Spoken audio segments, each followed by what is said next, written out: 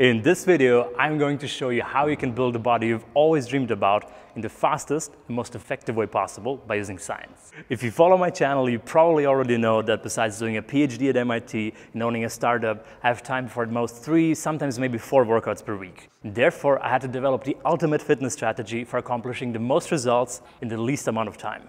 Eight years ago, I won the National Triathlon Championship, so doing sports has always been my passion. There may be no shortcut to looking like a fitness model, but if you base your workout and nutrition on science and research, rather than some clueless influencers' workout plans, you can get there way faster than you might think.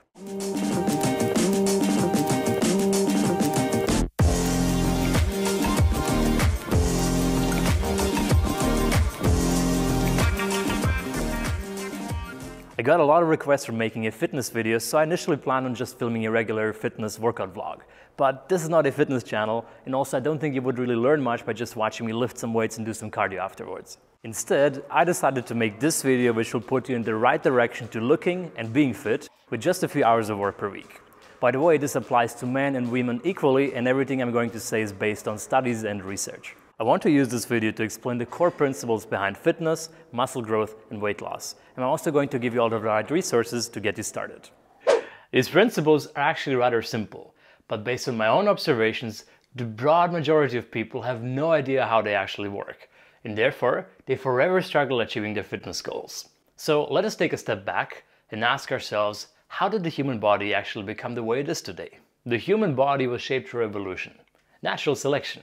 And evolution's objective is not to make humans look like fitness models with razor sharp abs and beautiful muscles. Evolution made the human body very adaptable to its environment, so it would have the maximum chances of surviving in a prehistoric environment. The thing is, we don't live in prehistoric history, prehistoric history anymore. we don't live in prehistoric environments anymore. So, assuming you have normal access to nutrition and workouts, you can shape your body however you would like to. The Homo sapiens would sometimes go days or even weeks without food, and therefore he would fully rely on his fat storage in order to survive and have enough energy. Too little fat and he was at risk of dying if there was no food for a few days. Too much fat, on the other hand, and his agility would be limited, which also wasn't favorable from an evolutionary standpoint. Muscles, among other things, are very important for self-defense, hunting, and later also agricultural work. Large muscles are very beneficial for both male and female prehistoric people because they could help them with these tasks. At the same time, having too large muscles could become very problematic during food shortages because large muscles require a lot of energy to maintain. Therefore, the human body became very adaptable to its environment. It constantly tries to keep your muscles as small as possible to conserve energy, while simultaneously keeping them large enough so you can survive in your current environment. Understanding this is key Depending on the environment a prehistoric man or woman would be in, their body would be shaped and structured very differently. For example, a peaceful environment with occasional shoot for, shoot for food shortages. A peaceful environment with occasional food shortages, having small muscles and being slightly chubby was actually ideal. On the other hand, in an environment that required a lot of fighting for survival and hard agricultural work, the body would automatically develop much larger muscles. And if enough food was present in such an environment, muscles would become even larger and therefore less energy efficient. At this point of the video, I should maybe say for the female audience members, don't worry. What I will tell you in this video is not going to make you look bulky and masculine despite common misconceptions. Alright, enough caveman talk. It's the 21st century, so I probably shouldn't be saying cavemen anymore because otherwise some snowflake millennial will probably start a shitstorm on Twitter against me. Let's just call it cave person. Pronouns they, them. Alright, jokes aside, you hopefully have enough access to both quality nutrition and different options for workout and fitness. The thing is, evolution is very, very slow. So in the past 10,000 years, our genes haven't really fundamentally changed. So if you want your body to look a certain way, you have to put yourself in an environment where your body thinks that in order to maximize your chances of surviving, it has to grow large muscles and burn as much fat as possible. So if you live in Russia, just go to your local forest and start wrestling some bears. Or do whatever is happening in this video over here. And for everyone else, I'm now going to show you how to create this ideal environment. First off, let us talk about burning fat. Assume you had a very fun weekend, you know, a good night out, some cocktails, desserts, and you really dug in at the all-you-can-eat buffet in your hotel. You're probably thinking, it's alright, after all, you can burn off all of these excess calories on a treadmill or by running right? Well, yes and no. As an average 55 kilogram woman, assuming that you consume an extra 2500 calories during that weekend, you would have to jog for a full 50 kilometers in order to burn off all of these calories. And during that time, you wouldn't be allowed to eat more than your base metabolism, which, with so much jogging, you would most likely want to do. And if you want to lose, let's say, 5 kilograms of fat in total, you would have to run for almost 700 kilometers. That would take a huge amount of time from your already busy schedule and you would be hungry for most of the time because you would be allowed to consume only your base metabolism of calories. Very few people actually have the discipline to do that. Luckily, science has the answer here. Instead of solely focusing on burning fat, you can turn your body into a fat burning machine. That is, by building muscles. Muscle tissue consumes around 22 calories per day per kilogram of muscle. On the other hand, fat only burns around 4 to 7 calories per day per kilogram of fat. And this is just your base metabolism. During any kind of physical activities, larger muscles become very, very energy inefficient, and therefore they burn even more calories. The reason why our body keeps our muscles as small as possible is simply because for our cave people ancestors, it was very problematic if their bodies were energy inefficient. But for us, assuming you have enough access to nutrition, it doesn't really matter. To recap, losing fat by just doing cardio is very difficult. Bigger muscles are absolutely key for burning fat because they make our body spend more calories. So, now we have arrived at the most important part of this video. How do you effectively build muscles without having to hit the gym at least 6 times per week? As I said before, your body is trying to keep your muscles as small as possible, but still large enough not to endanger your inner cave person's chances of survival. Therefore, the only way to make your muscles grow is if your body realizes that its current muscles aren't strong enough to handle its everyday tasks. Therefore, the trick to developing more muscle tissue is heavy lifting workouts until you reach positive failure as opposed to low intensity workouts. I don't want anyone to get offended here. Circuit training, jogging, or maybe following Pamela Reif's workout videos on YouTube is surely much better than not doing anything. And also, if you spend enough time with these exercises, you will surely get at least some results. But if you want to be really effective and get the most results in the least amount of time, it doesn't matter whether you're a man or a woman, there's just no way around lifting heavy weights until you reach positive failure. By the way, even Pamela Reif didn't get her body by doing the workouts that she posts on YouTube. She regularly hits the gym and lifts heavy weights. But sadly, most people just feel comfortable doing whatever this is supposed to be because it just makes them feel good and exhausted at the end of the workout, so they feel like they have accomplished something. And then sadly, after a few weeks or months, they just give up disappointed because they don't see any results. So you might already be training with weights. Or maybe you have some friend who hits the gym six times per week, but yet doesn't achieve the results that he or she would like to. Why is that? It could be that the bottleneck is just nutrition. Nutrition makes up at least 50% of your overall results but this is a topic definitely way too long for this video, so maybe let me know in the comment section down below if you would like me to make a follow-up video where I talk about nutrition. There I can talk about how I optimize my nutrition to get the most results and the best nutrition in the least amount of money and time spent. Let's assume that you're already training with weights and that your nutrition is in place. The key to getting real results is, yet again, based on your inner cave person. It's called positive failure. You have to get your muscles in a position where they have no other choice but growing. To explain this, let's go back to the gym. So here's an example of me doing 80 kilograms for 10 reps of bench press and try to figure out what exactly I'm doing wrong here.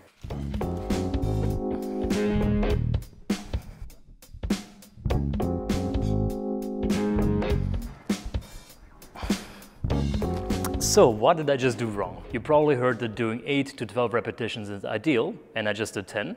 And also my form was pretty good, right? The problem is that I stopped after 10 repetitions, even though I definitely had the strength to do probably 15 or 20 of them. So my muscles just said, okay, well, this was maybe a bit exhausting, but we could complete the task that the brain was asking to do, and therefore we don't have any reason to grow. We're already big enough. So instead, I'm going to increase the weight to 100 kilograms, because with 100 kilograms, at least I personally fail around 8 to 12 repetitions, which is ideal. And if I manage to do 10, I'm going to try an 11th one. And if I manage to do an 11th one, I'm going to try a 12th one, and so on. I will continue until I completely fail. I'm not just going to stop because a certain number tells me that I reached enough.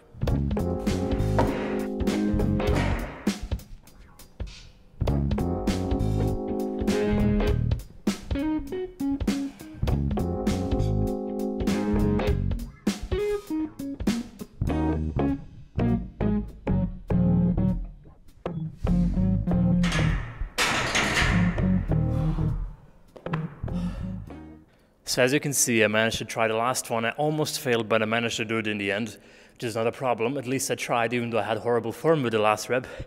It still made me do and push myself to the limit. These two exercises may look very similar because the difference in weight was just maybe 20%, but the difference in the effect that they have on my muscles is drastic. Because right now I feel that real burning sensation. That is my muscles starting to panic because they were not strong enough to complete the exercise that they had to do. From an evolutionary perspective, your genes are programmed in such a way that since your muscles failed, they now think that in order to maximize your chances of survival, they have to make your muscles grow more. This is a very key concept, and therefore I'm going to let young Arnold Schwarzenegger explain it to you in a more detailed way. This last two or three or four repetitions, that's what makes actually the muscle then grow. And that uh, divides then one from a champion and one from not being a champion. If you can go through this pain barrier, you make it to be a champion. If you can't go through, forget it. Also, when you train, never try to save your energy in a set for the next set. It doesn't matter if you get tired, because next time if you get tired in the next set, you just reduce your weight and it's totally fine to do so. Having mentioned Arnold, I do have to emphasize that he, just as almost all professional bodybuilders on this planet, are using steroids. If they wouldn't use steroids, they would look much more normal and probably to the normal person more attractive. I personally have never experimented with steroids and I absolutely advise you to stay away from them because they can be super harmful and if you do not do it properly, they can be also be very, very dangerous. In my actual workouts, I use even more advanced and more effective techniques than just lifting until failure. If you're curious about this, you can check it out on my Instagram page. At this point, I should make a little disclaimer. If you just got super motivated to lift heavy weights but you're new to the gym, be careful. To prevent injuries, you should first start with low weights and then slowly work your way up gradually over a few months to heavier weights. This is to prevent injuries in your muscles, in your bones, and especially in your ligaments that first need to get used to all of this weight. Also, you should be very careful with lifting weights that are so heavy that you cannot lift them for at least 5 or 8 repetitions at a time. Finally, now that I've covered all of the basic scientific principles, let me give you some advice for your day-to-day -day workouts. And don't worry, I know that you're probably as busy as me, so you surely don't have time to work out six times per week. You don't have to. At least for the start, doing just two weight training sessions per week should actually be enough. The best strategy if you are a beginner or intermediate is implementing the Big Five strategy. These are five heavy lifting exercises that target all the major muscle groups in your body. I'm talking about deadlift, bench press, shoulder press, pull-ups, and squats. Each of these can be substituted with similar exercises, so I'm going to walk you through them. And with that, let's go back to the gym. First of all, there are deadlifts. Deadlifts are ideal and are very safe if you have proper form. If you're new to the gym or haven't done deadlifts before, I'm going to put a link in the description explaining how to do it exactly. If you're kind of afraid of deadlifts, then maybe you can replace it with leg press and seated rows or something like that. But on the long term, I do recommend learning how to deadlift. So next up, there's my obvious favorite. I don't really see a reason why I would take any alternatives to bench press, but obviously you can always do dumbbell presses or something like that. So next up there's shoulder press. You can either do it with barbells or with dumbbells. You can do it standing or seating, whatever is most comfortable for you. Whoa. So next up, there's the very standard pull-up or pull-down, whatever you want to use. The problem with standard pull-up is that you can only use one weight, your body weight, so you might want to add some weight if it's too easy for you, or maybe reduce the weight with some special machine or some elastic band. So, and lastly, we have the squat. It's honestly my least favorite exercise, but I know it's super important, so you should definitely learn how to do it safely. Sometimes you might want to have some safety bars on the side because failing a squat can be rather unpleasant. And with that, back to the studio. And all you've got to do now is slowly and carefully do these exercises until you reach or almost reach positive failure. And then, as you get stronger, apply the progressive overload principle. That is, make sure that you lift heavier and heavier over time as you get stronger. I wouldn't recommend doing the two famous Olympic lifts, that is clean and jerk as well as the snatch. These may look cool, but they require so many abrupt movements that the risk to reward ratio is simply too high. And only once you've overcome the beginner and intermediate stage then you should start thinking about more advanced lifting techniques, such as isolation exercises, machines, etc. But think about this more as going from 90% to 100%. And last, but not least, let's talk about cardio. Unless you want to become a power lifter, maybe don't care about the health of your most important muscle in your body, you should definitely do cardio. Here's the problem with cardio, and I'm saying this as a former national triathlon champion and someone who absolutely loves running. The problem with cardio is that if you want to build muscles, you lift heavy weights. If you want to lose fat, you do cardio. But look at marathon runners. Their muscles have adapted to ultra long distance running and are therefore very small and compact. Doing very long cardio sessions may result in you losing muscles. It's not a big deal, especially if your primary goal is just losing fat. So if you enjoy biking or running, feel free to continue doing so. But if you want to be super efficient, you should be mindful about this. Instead, you should focus on high intensity cardio. And when I say high intensity, I don't just mean running quickly. I'm talking about 10 to 30 seconds of all out, balls to the walls, basically kill yourself insane sprinting. After your sprint, your heart should feel like it's going to explode. You should have nothing left in your muscles after the sprint. After repeating this for a few times, your muscles' energy stores may deplete by 15%. With conventional jogging, this may take up to one hour. This sends a massive signal to your body saying, oh my god, I have to immediately start burning fat to get more energy or otherwise I'm going to, let's say, get eaten by a bear. I personally really like sprinting up steep hills because it's the hardest and it puts the least amount of stress on my knees. But you can also sprint on flat grounds or just treadmills in the gym. There is so much more to learn about this topic. I didn't talk about nutrition, supplements, sleep, the shocking principle, workout splits, and so many more things. Also, keep in mind that what I explained to you here in this video is the most effective way of getting in shape and looking great without spending too much time working out. If you don't really like going to the gym and really enjoy other sports way more than lifting weights, then go for it. Doing most sports is much better than doing nothing. Special thanks to CrossFit Riviera for letting us use their gym. If you live near Lausanne or Montreux in Switzerland, make sure to check them out. Here are a few must-watch clips by Arnold and bodybuilding.com and if you really want to further educate yourself on this topic, check out the channel athleanx.com. They have videos for every workout that you can think about. I hope you enjoyed this video. You can say thanks by giving me a thumbs up and I wish you much fun with your workouts. Take care and goodbye.